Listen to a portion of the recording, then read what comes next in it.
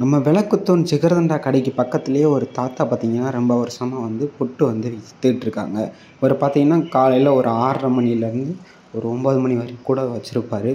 பார்த்தீங்கன்னா புட்டெல்லாம் வந்து இந்த மாதிரி பார்சல் போட்டு தான் கொடுக்குறாங்க. காலையில் வேலைக்கு போகக்கூடியவங்க இவங்கெல்லாம் பார்த்தீங்கன்னா பார்சலாகவே வந்து வாங்கிட்டு போய்க்கிறாங்க. அதுபோக மொத்தமாக இந்த மாதிரி அட்டை இந்த மாதிரிலாம் கொண்டு வந்து இந்த மாதிரியும் வாங்கிட்டு போகிறாங்க பார்த்தீங்கன்னா புட்டு ரெண்டு புட்டு வச்சுருக்காங்க. இவங்க பார்த்தீங்கன்னா அரிசி புட்டு அப்புறம் கேப்பு புட்டு இது எல்லாமே வச்சுருக்காங்க. ரேட்டு பார்த்தீங்கன்னா ஒரு பத்து ரூபாய்க்கு கொடுக்குறாங்க.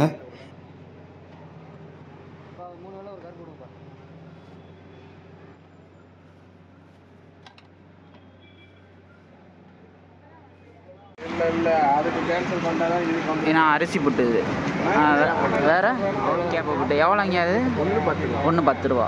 எவ்வளோ வருஷமா இருக்கீங்க? எவ்வளோ வருஷமா இங்கே பண்ணிகிட்டு இருக்கீங்க? நான் இருபது வருடத்துக்கு இருபது வருஷமா இருக்கீங்க. எத்தனை மணி வரை இருப்பீங்க காலையில்? எத்தனை மணிலேருந்து எத்தனை மணி வரை இருப்பீங்க? ஆறுலேருந்து விற்க வரைக்கும் இருப்போம். ஒரு ஆ. நாளைக்கு விற்க ஆ. லேட்டாக விற்க ஆறரைலேருந்து எத்தனை மணி வரையும்?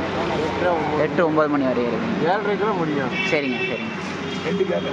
ரெண்டு ஏழரைக்கு ஏழரை.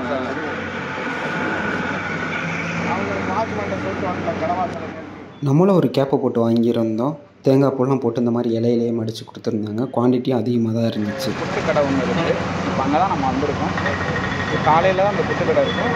பத்து ரூபாய்க்கு கொடுக்குற புட்டு ரொம்ப ஹெல்த்தியான ஒரு இதை வந்து நம்ம காலையிலேயே நம்ம வந்து நம்ம கிடைக்குது இங்கே விளக்குதன் பக்கத்தில் ஜெகர்தண்டா கடை இருக்கும். அந்த ஜெகர்தண்டா கடை பக்கத்தில் ஒரு கடை போட்டிருக்காங்க. காலையிலே பார்த்தீங்கன்னா நிறைய ஆள் எல்லாமே வராங்க. இந்த சைடு வந்தீங்கன்னா கண்டிப்பாக வந்து சாப்பிட்டு பாருங்கள் கீழே இருக்க சப்ஸ்கிரைப் பட்டனை கிளிக் பண்ணிக்கோங்க. அப்போ தான் நான் போடுற வீடியோ உங்களுக்கு கிடைக்கும்.